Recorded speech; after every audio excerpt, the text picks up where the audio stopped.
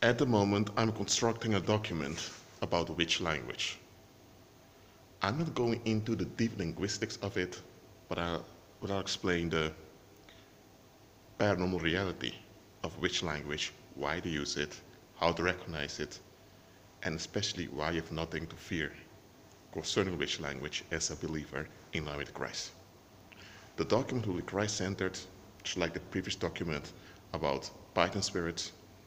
So in this email offer, I offer a document about witch language. And by the way, the previous offer is still valid. So if you want the document about Python spirits, just send me an email with the subject Python in capital letters with an exclamation mark. If you want a document about witch language, send an email with the subject witch in capital letters with an exclamation mark. And if you want both, you write Python plus witch an exclamation mark. Okay? Well, that's it for now. Keep agreeing with Christ. And I'm only on YouTube for you guys. Remember that. Be at peace.